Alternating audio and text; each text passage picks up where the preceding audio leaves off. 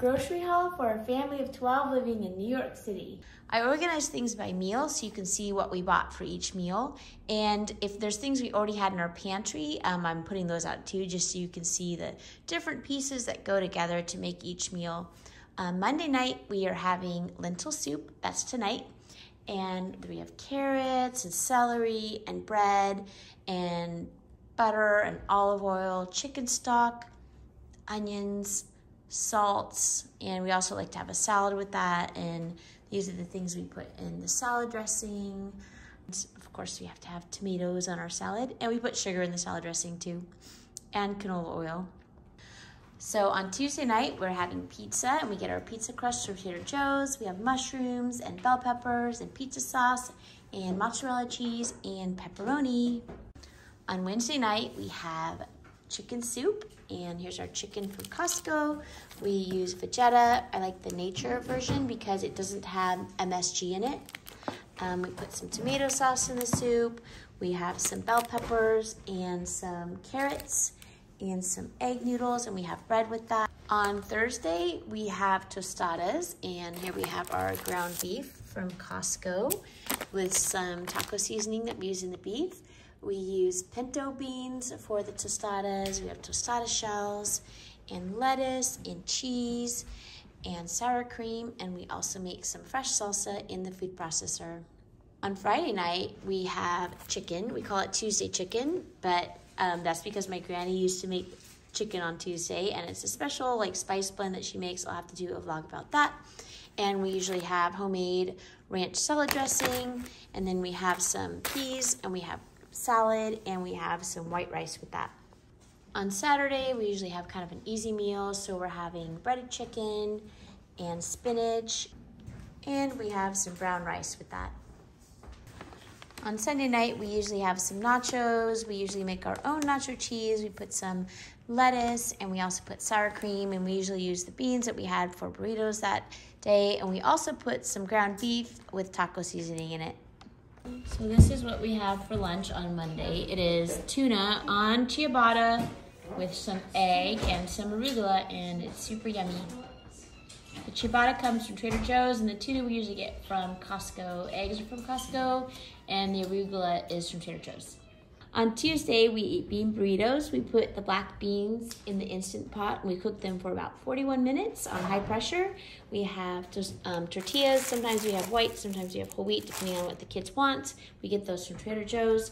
We have cheddar cheese. We get that from Costco. Sour cream, and we usually we usually like to make our own salsa. We put cilantro and jalapenos and tomatoes and sweet onion and we put that just in the food processor and you have instant good fresh salsa. Put some salt and a little bit of lemon juice too.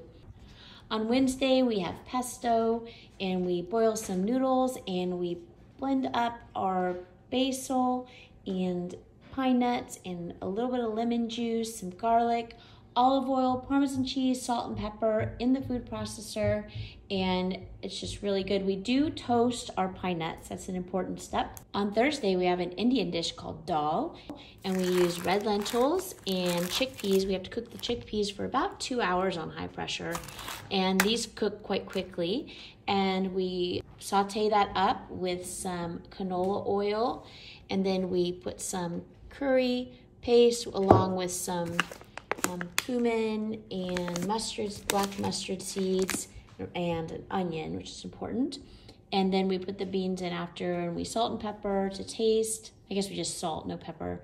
Um, and then we top it with some parsley, and we serve it over basmati rice. On Friday, we have bean burritos again. On Saturday, a few of the kids go to Juilliard, and so we have just an easy packable lunch.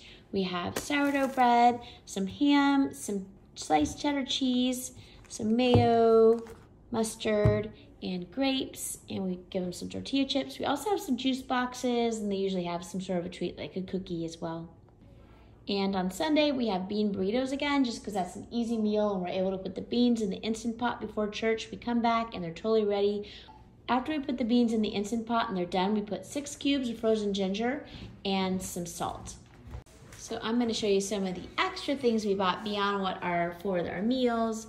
we got this amazing, astounding multi-flavored Joe-Joe's. They're basically like Oreo cookies covered in some sort of chocolate, which is really good. we got a Belgian cookie trio. We got some chocolate. I remember getting chocolate like this in France, so I'm sure this is good. We got some butter almond thins and some dark chocolate covered peppermint Joe-Joe's we got some apples and because there's just not a lot of fruit ripe right now we got some pomegranates. It's quite a splurge because they're expensive but oh man they are so good. We got some crackers because sometimes when the kids are feeling under the weather these crackers are really nice.